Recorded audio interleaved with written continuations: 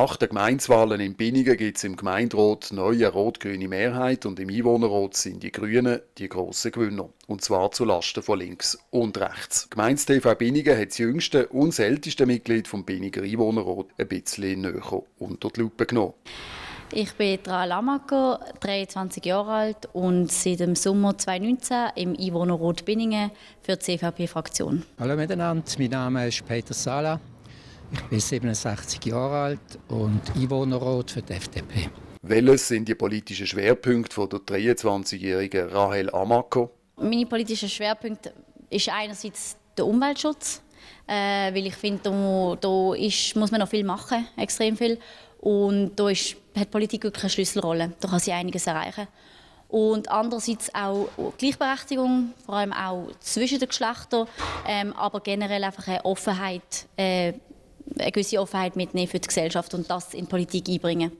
Und wo sieht der Rots älteste seine politischen Schwerpunkte? Also meine Anliegen als FDP-Mitglied sind, äh, dass die Sachgeschäfte im liberalen Sinn durchgeführt werden. Das sind äh, Freiheit, Fortschritt und Gemeinsinn. Und persönlich würde ich mehr einbringen mehr im technischen Bereich, wie Straßenverkehr und Energietechnik. Welche Erwartungen hat die jüngste Einwohnerrätin an ältesten Ratskollegen und umgekehrt? Also direkt an Ältesten habe ich vielleicht nicht gerade eine Erwartung, sondern vielleicht mehr, dass es halt im Einwohnerrat ist ein Mix zwischen viel Ältere, dann Mittelalter und ein paar junge Menschen. Und natürlich fände ich super schön, wenn es noch ein bisschen ausgewogenen Mix gibt, weil ich finde, es braucht alles. Wir brauchen eine gewisse Diversität im, im Einwohnerrat. Nicht nur im Alter, sondern auch äh, beim Geschlecht und bei den Berufen. Weil schlussendlich ist ja die große Aufgabe der Politik eigentlich, den Willen vom, vom Volk zu vertreten. Und unser Volk ist bunt. Unsere Bevölkerung ist bunt, sie sind divers.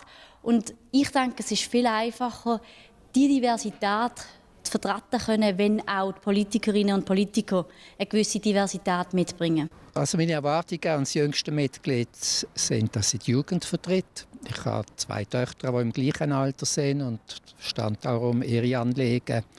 Ich hoffe, dass sie die Mittepartei, die EVP, auch so vertritt, wie sie im Wahlauftritt äh, gezeigt haben. Und, aber wenn ich sie so wahrgenommen habe, habe bis jetzt, äh, stimmt sie eher grün-rot, was man halt auch von den Jungen so kann erwarten kann. Rahel Amacker kommt aus einer sehr politischen Familie. Ihre Mutter Katrin Amacker war einmal Nationalrätin. Welche politischen Ambitionen hat jetzt die Tochter?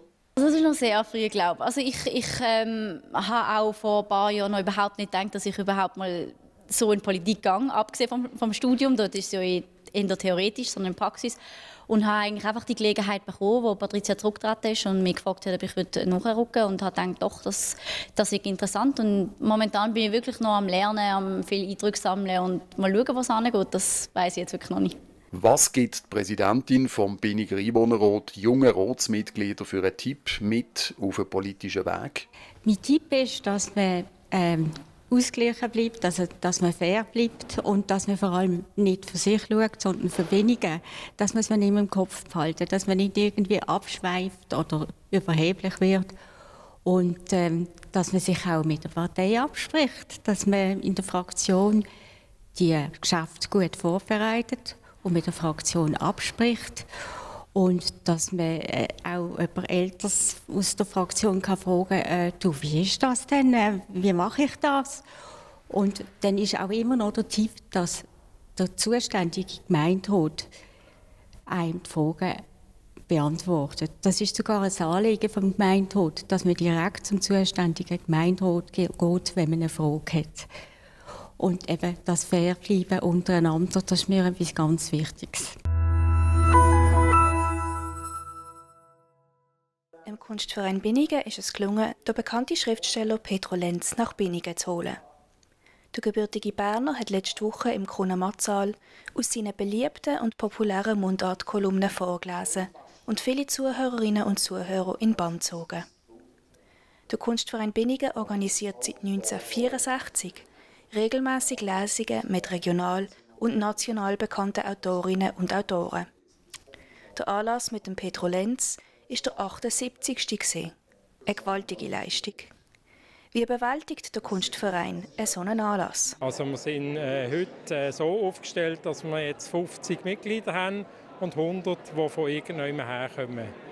Und das ist eigentlich normal, dass wir ein Drittel Mitglieder haben, zwei Drittel kommen von auswärts, die einfach interessiert sind an der Veranstaltung, an Künstlern.